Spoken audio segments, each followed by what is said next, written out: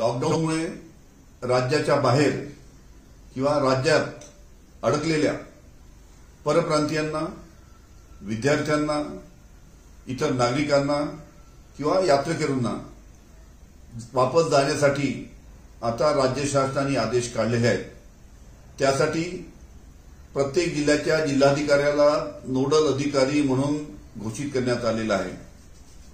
त्या जिल्हाधिकाऱ्याकडे आपल्याला आपलं नाव आपला मोबाईल नंबर त्याचबरोबर ज्या राज्यामध्ये आपण अडकलेल्या त्या राज्याचं नाव त्यातील जिल्ह्याचं नाव त्यातील तालुक्याचं नाव त्यातील गावाचं नाव हे आपल्याला फॉर्म जो जिल्हाधिकारी राहील त्यांना भरून द्यायचा आहे.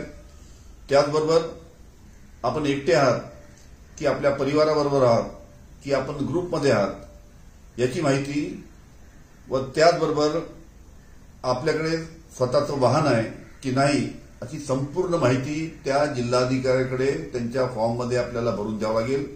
त्याच्यानंतर आपल्याला जिल्हाधिकाऱ्याच्या माध्यमातून परवानगी मिळेल आणि त्यानंतर आपण आपल्या आपल्या राज्यामध्ये आपल्या आपल्या गावामध्ये